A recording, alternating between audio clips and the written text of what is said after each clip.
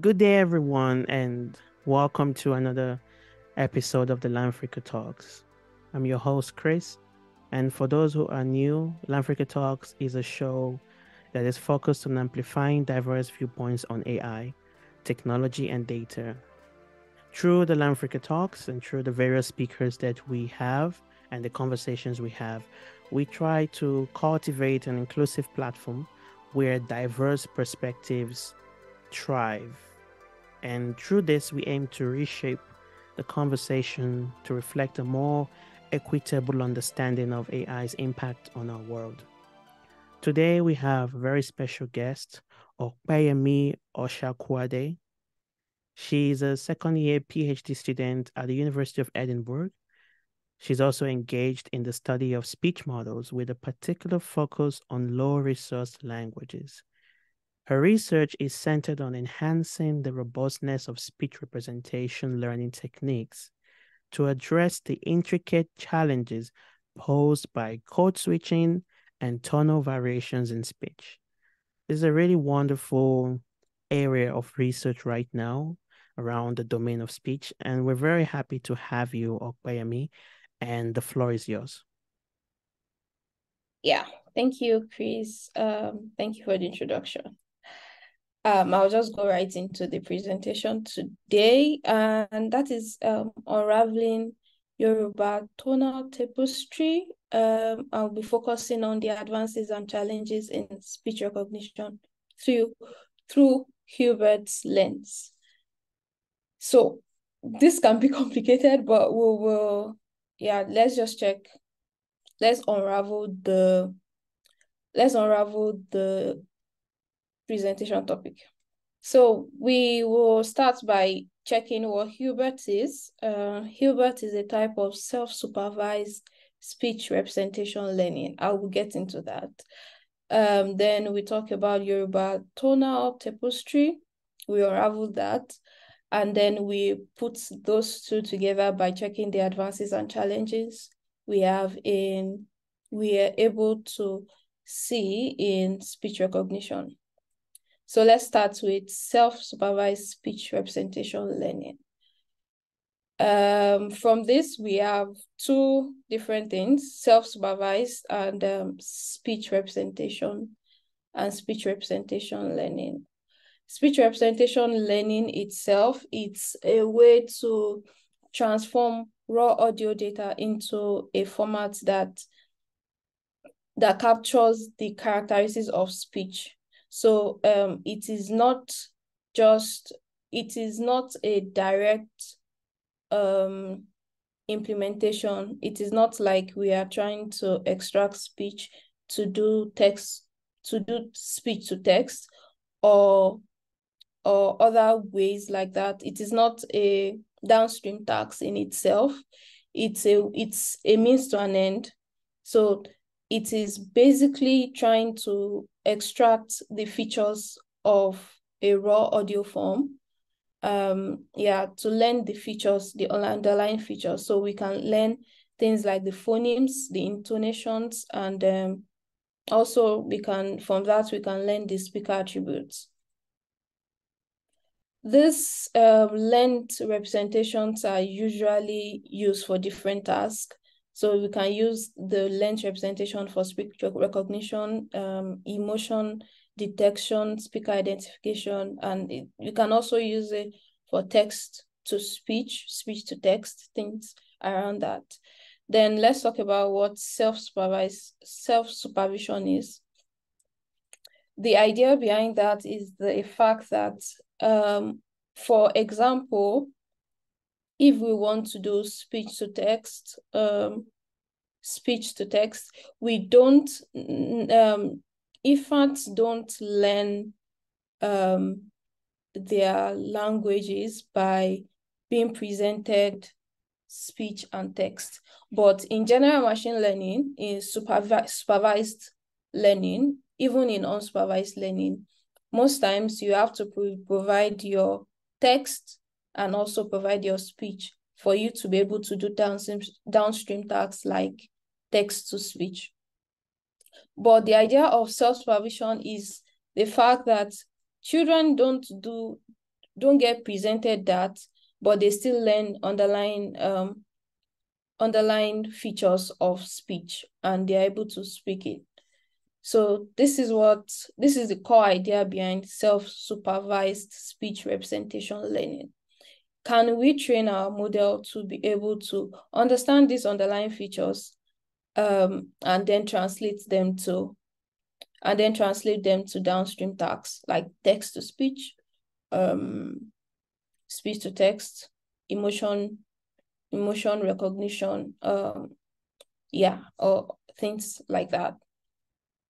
So we asked ChatGPT what self-supervised speech representation is.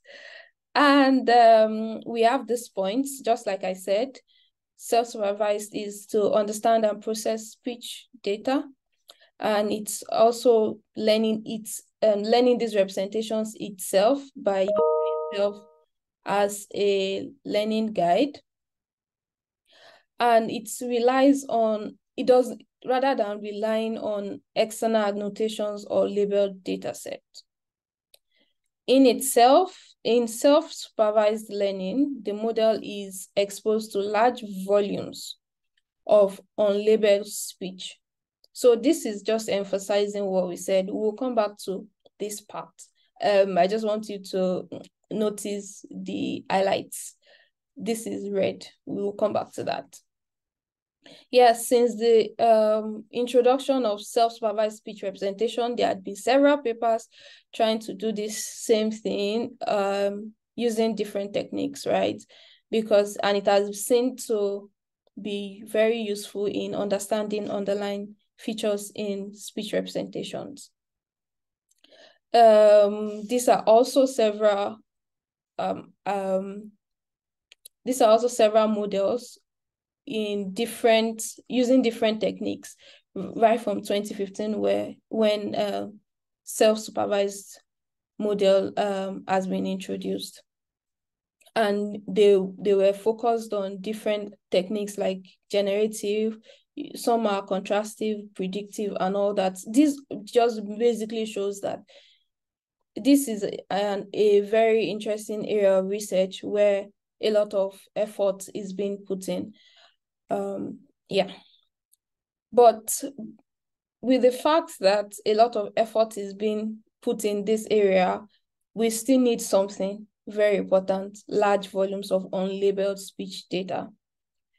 Um and this is not as available as we is not available for all languages.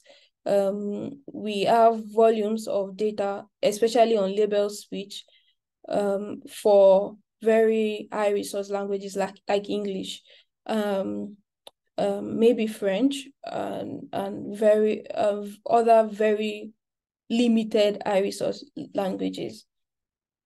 So for Yoruba language, we don't have enough of this. Um, this will, this can pose um, this can result to some difficulties in using these models to do downstream tasks in Yoruba language.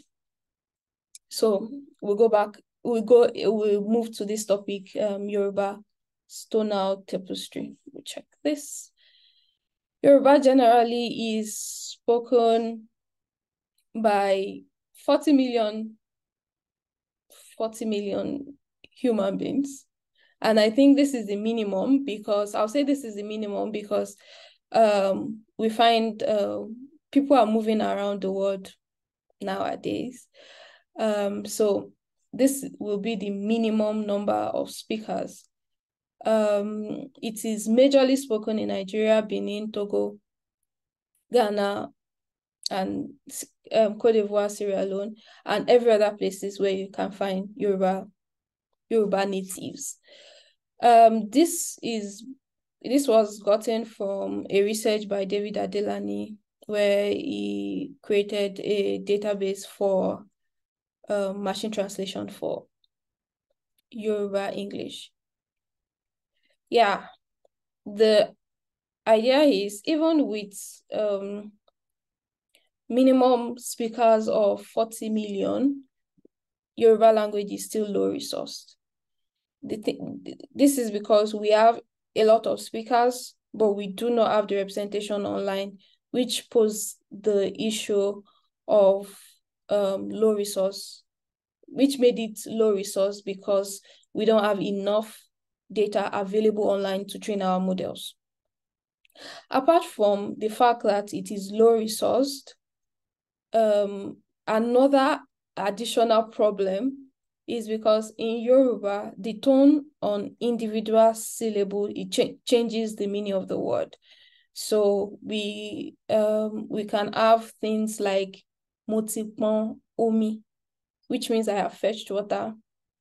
And also have things like motipon oka, I have made pap. So the change in tone of this this syllable changes the whole sentence um, changes the meaning of the word and then it changes the whole sentence. We also have example of og inheritance. Ogun. Yeah, this is I Iton, Ogun. And also have well, if we have Ogun, that is war. This is mid-tone. And we can also have Ogun, which is god of iron. This all these are the same the same phonemes but uh, all these words have the same phonemes but the tones are different. Therefore we have totally different um, pronunciation and also totally different meaning of the word. So the um, research question in this presentation is to what extent does self-supervised representation learning models capture tonal features in Yoruba language? We have seen that self-supervised representation models are very vast and there's a lot of research going on in that area. Um, but does it capture your, the tones in Yoruba language? Um, with the with all the work that has been done in this field, there has been emphasis on Hubert, and Hubert has posed um has shown has been evaluated. Hubert has uh, Hubert has been evaluated to capture more phonetic related features um, compared to every other um, self-supervised speech representation models. So we are currently going, to, we are going to be evaluating Hubert to see how, how much, to what extent it captures the tones in Yoruba language. Um, Hubert is basically BERT, applied to speech. So um, BERT, BERT is a very common um, model in language modeling generally. And the idea behind BERT is the masking, um, masking property. Um, we can check, looking at here, what BERT does is to mask a certain part of the input which was the idea behind it was text, um, mask a certain part of the text, the representation of the text, and the model is trained to predict that masked part of the text. So, um, for example, this is showing max 50% of the representation of the text. Then this model is the, the BERT model is trained. So given the 50% that is not masked, it is trained to predict the 50% that is masked.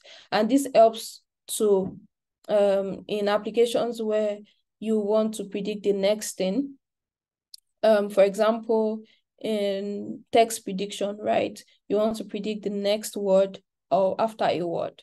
Yeah. But Hubert is applying this to speech. And the difference between speech and text, right, is because speech is continuous.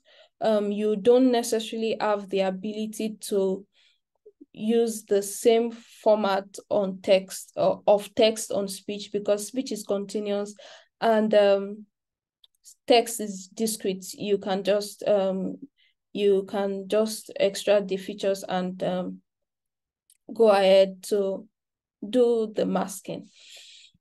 So the idea behind Hubert, before going before the before um going into the BERT path, is to ensure to discretize the speech.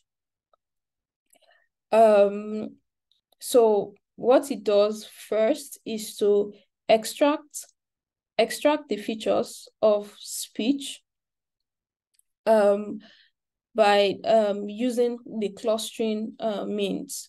So it extracts the features from the audio, extract the MFCCs and cluster the MFCCs. So um, it assign each feature vector from MFCCs to a particular cluster. So we can see it here. And this and from the k-means clustering, it extracts the hidden unit embeddings. So each each cluster is assigned features and um, these features becomes the hidden unit embedding.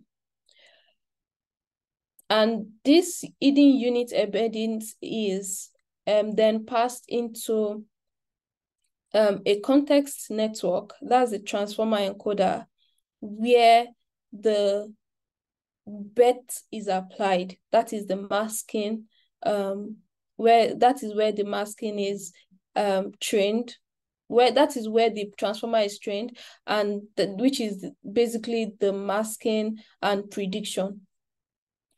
Um, then um, to ensure that this clustering um, produce produce the right hidden embeddings the from each layer of the transformer this transformer is made up of 11 layers. And from this um, transformer we reuse intermediate layers from each from different layers. But the the in Hubert the layer used, we use the layer six and then the nine because these layers were found to be able to extract phonetic features.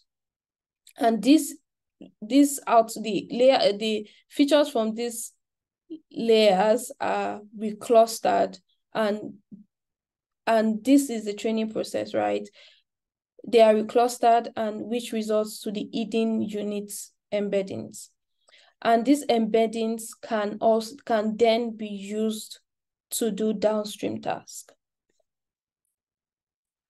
Um, one very interesting um, paper that used this, apart from the regular, I would say the regular uh, downstream tasks you use um, speech representations for, is this paper. This paper, this paper, the laughter synthesis um, using pseudo-phonetic tokens with large scale in the wild laughter corpus. So this paper basically used the hidden units from Hubert to synthesize laughter. And this is really interesting because Hubert in itself is trained on English speech. It is not laughter. The base model is trained on English speech, which doesn't really represent laughter. But this paper used it to represent, um, to synthesize laughter. This is how powerful the representations are. I'll play some samples so we see. Yeah, this is um these are some of the samples.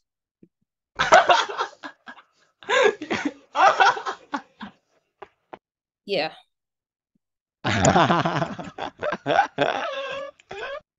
yeah, just to show how um, interesting HuBERT representations are. But we want to see, since it's able to do, and apart from that, the HuBERT-based model generalizes also on generalizes also on other languages. It is able to capture the phonetic um, representations in other languages like Gaelic. Um, Gaelic is a language in is a Scottish language, and just with the HuBERT model, without retraining, without fine tuning, just recluster, just reclustering the model on Gaelic data, it's able to produce um, synt correct synthesis of Gaelic language. So back to our research question, to what extent is it able to recognize the tone features in Yoruba language? This is our method. We extracted the phone um, from, we extracted um, phones and the time alignment from our speech, and then we passed our speech, the extracted phones and the extracted word and their time alignment um, to obtain the HuBERT discrete representation for our audio file. Not to forget, we use we are using the same um, the same techniques that are used by all these other papers that have used HuBERT for their downstream tags. Um, yeah. And we reclustered on Yoruba language and extracted our HuBERT representation for both word and then phones. Um, we now tried to compare these phones, this Hubert unit at different clusters. Um, the paper, the original paper from Hubert says 100 clusters was great, produced great results. Um, um, then we should, it was also mentioned that 50 clusters should also produce good results because those is those are close to the number of number of um alphabets, number of phonemes, we can also say alphabets in English. So we tried, because that is also similar to Yoruba, we then we tried to look at the closest um, type of um, phonemes in English and Yoruba, and these are plosives. Um, and this we can see that they have similar patterns, although not exactly because we have more um, more words for the English data, but we can see similar patterns in this um, in the plosives. So we went ahead to check the purity of the clusters um the we check the phone purity, which is how often are the clusters assigned to the same phone, to the same label. So in let's say we have 50 labels, in 50 in label 30, how many how many how often is um the maybe ha assigned to that particular label 30 um, and that is what phone purity me measures. We check this across the number of units, number of clusters. And the idea basically is that the more the number of clusters, the higher the purity. Yeah, because it just gets reassigned and it lends um, um, intrinsic features. Yeah so the idea is the higher the phone purity the, the higher the number of clusters the higher the phone purity. And unit purity is how well the representations group together similar linguistic units. So in each cluster how well will this cluster represent a particular linguistic unit. And the idea with unit purity basically is the higher the cluster, the lower the unit purity. And we see that this pattern, although the values are lower in Yoruba data, but we see that the this pattern is same. They, they, they both follow the same pattern, which makes us think, oh yeah, this may this shows that Yoruba um Hubert learns the patterns in Yoruba. Um, then we can perform more analysis, um, narrowing down to the tone.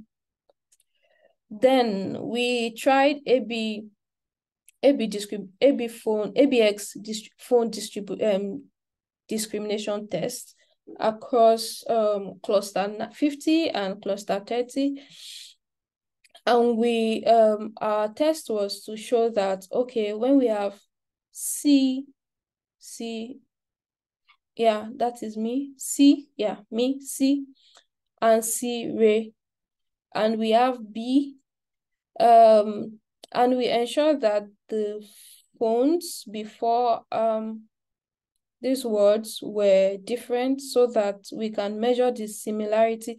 Okay abx phone description test is basically trying to get the similarity between words. And the idea is if um, we have A, B, and X1, um, we should be able to say A, B, um, X1 is closer to B in the sample space or x1 is closer to a um, and the higher the value the distance the the lower the distance the better um the better the similarity right? So here this is the speech this discrete, discrete representation from Hubert. Um yeah. This is the this um this is the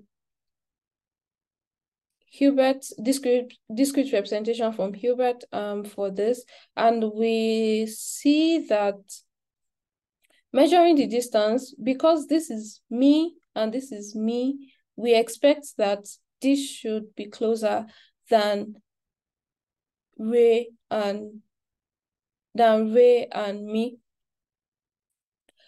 Now, checking the distances, we see that x1 is more similar to b, x1 is more similar to b, which is very correct. But then we see that x2 is also more similar to b, x2 is also more similar to b. Okay, x1 is similar to b, which is wrong.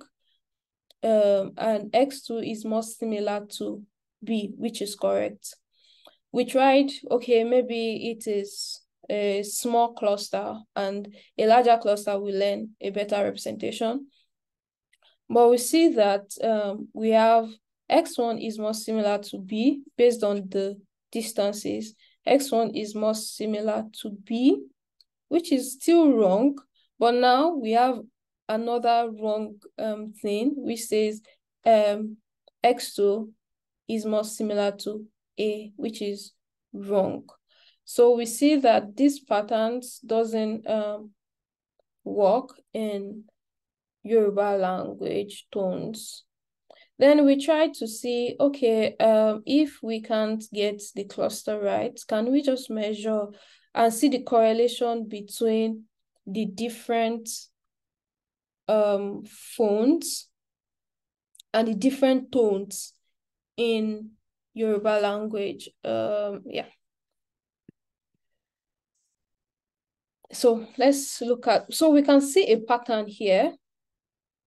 So it is the thicker the, the thicker the colors, the more far apart the fonts, the tones are.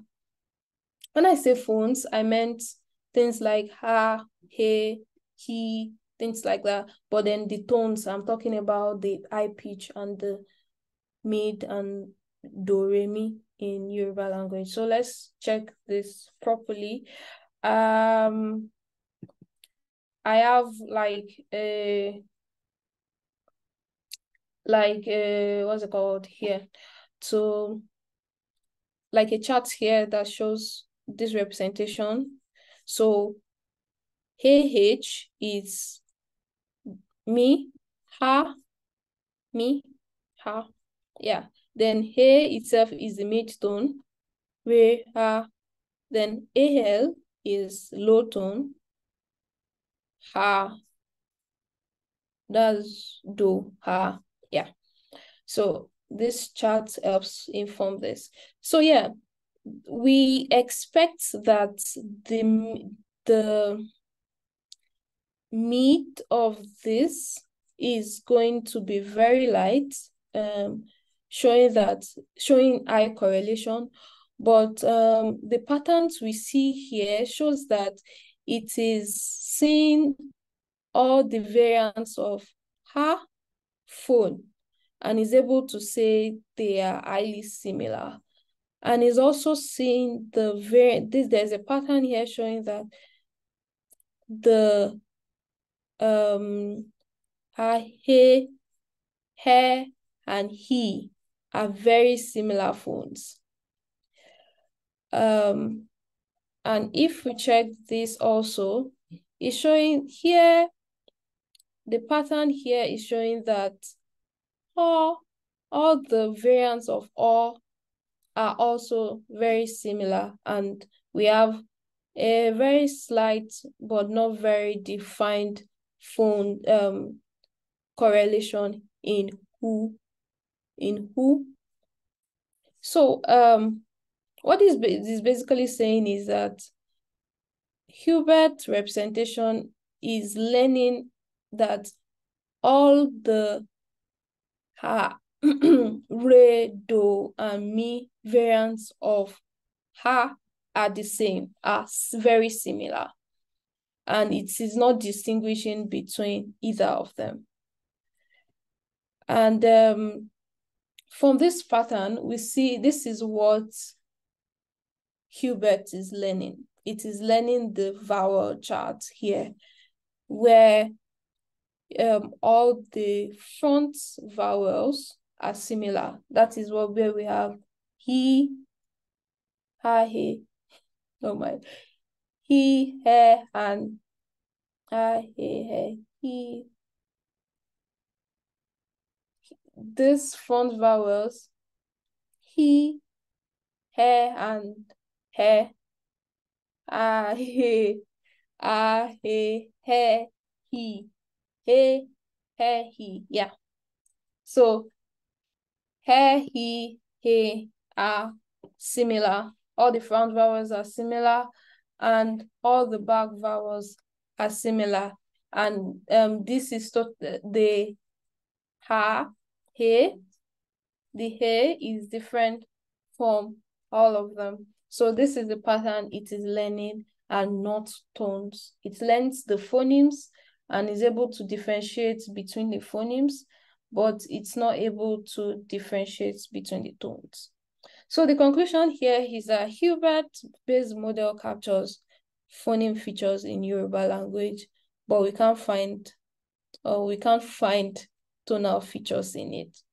And the implication of this is that if these representations are used for speech recognition, it's going to be inaccurate because um, we will have a lot of inaccurate um, recognition, in, inaccurate, um, for example, text, speech to text. If we use this representation, we might we are going to have wrong, um, wrong text um, in our, in, we are going to have wrong text. And also poor semantic understanding. Um, the model our model will most likely misunderstand the intended messages. And from our example it might use it might it might um it might predict ogun instead of ogun or yeah it's just going to it's not going to um present us with the right semantics um and also in context it's not able it's not going to be able to capture context. Um, for also for language translation, in cases where we are trying to translate Yoruba to another language using these HuBERT representations, it's going to be ineffective. It's it might be it might translate the wrong word in English because it doesn't know the difference between Ogun and Ogun, and which is ineffective. So the future work now is to see um, other tonal languages um, tonal languages are very common in Africa. Um, we have several of them. We are going to evaluate the HuBERT representations on them to come to a very concrete, concrete conclusion about the representations of um, the features HuBERT is able to learn. Also, we are going to evaluate with other self-supervised representation learning like wav2vec, data to VEC, and um, see what, and to be able to identify why HuBERT doesn't capture tones. And also we will do try, um, we evaluate using other downstream tasks like um, speech synthesis. If we synthesize HuBERT, these representations from HuBERT, um, what output do we have? Um, and yeah, synthesize using those downstream tasks. Thank you. That's the end of the talk this evening. Um, yeah, I will take questions.